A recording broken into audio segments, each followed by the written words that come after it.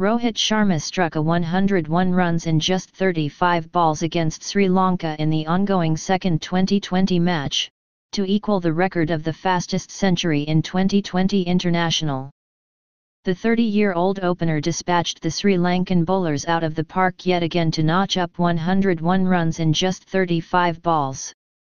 Rohit struck 8 sixes and 11 fours to get to equal David Miller's record against Bangladesh earlier this year. Sharma finally out on the 13th over, a slower short ball from Sri Lankan bowler foxed Rohit to take a shot, and he hit straight to the short third man. Watch and share this video, for more videos, please subscribe at Dinesh Kannan.